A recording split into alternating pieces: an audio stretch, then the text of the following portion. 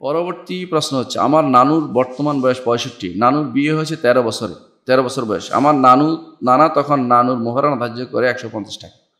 এই মোহরানাটা আজ পর্যন্ত দেয়নি নানু এখন নানার কাছে মোহরানা খুঁজলে নানা এই সময় একশো পঞ্চাশ টাকা দিতে চায়, কিন্তু নানু নেয় না। নানু বলতে চায়, তখনকার অর্থের মূল্য অনুসারে হিসেব করে এখন দিতে হবে। নানা বলে, এটা সুদ হবে, একশো পঞ্চাশ টাকা এখন দিলে আদায় হবে। আমার প্রশ্ন হচ্ছে, তখন কি একশো পঞ্চাশ টাকা, একশো পঞ্চাশ টাকা দিলেই হবে, নাকি অর্থের সময় মূল্য নিষেধ করে আদায় করতে হবে? তখনকার একশো পঞ্চাশ টাকা অনেক মূল্য ছিল? এখন তো তা নেই। আসলে দেখুন, এই যেহেতু এটা বাকি ছিল, সেহেতু একশো পঞ্চাশ টাকা দিলে আদায় হয়ে যাবে। এখন বাড়তি দিতে গেলে এটা সুদ হয়ে যাবে।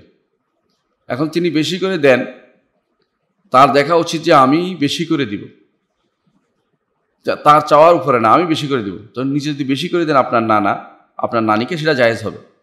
কারণ খাইরকম হাসনকম আফান কেউ যদি কোনো কোনো কিছুর মানে কোনো কিছু পূরণ করতে, ঋণ পরিশোধ করতে বা এই জাতীয় ঋণ ছিল, এটা ঋণ পরিশোধ করতে বেশি করে দেয়, সেটা আছে।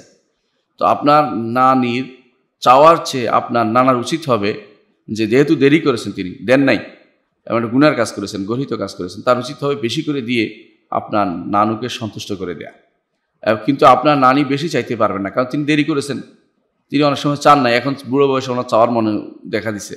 এজন্য উনি এখন যা দেয় তা নিতে হবে, আর না, আপনার নানার উচিত হবে যে এই হিসাব করে যত বেশি হতে পারে তত বেশি তিনি হিসাব করে দিয়ে, বেশি দিয়ে দিবেন।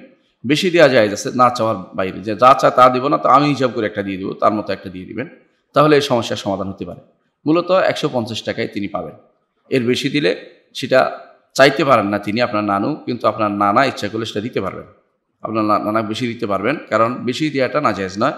তো চাইলে সেটা না জায়েজ নিজে নির্ধারণ করে চাইলে আর নির্ধারিত দিলে জিনিস দিলে সেটা সুদে পরিণত হবে। কারণ এটা ওই দেরি হয়েছে দেরি হলেই এটা অঙ্ক বাড়ায় না, তাহলে সুদ হয়ে যাবে, চক্রবৃদ্ধি আর সুদ হয়ে যাবে, এটা হবে না।